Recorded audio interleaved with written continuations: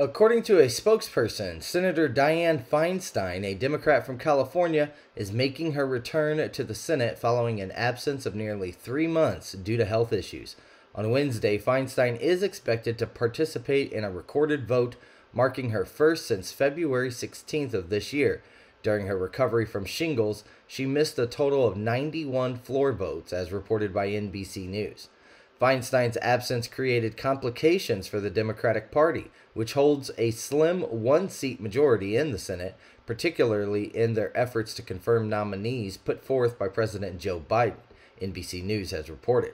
Now, the impact was most notable within the Judiciary Committee, where the Democrats' 11 to 10 majority became a 10 10 tie, hampering their ability to confirm certain judges and preventing party line votes on issuing subpoenas. Democrats' attempt to uh, temporarily replace Feinstein on the committee with Senator Ben Cardin, a Democrat from Maryland, was thwarted by Republicans last month.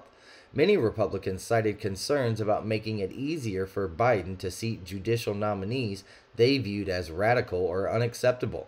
Feinstein later contested the notion that her absence had limited the number of nominees advanced by the committee in any way.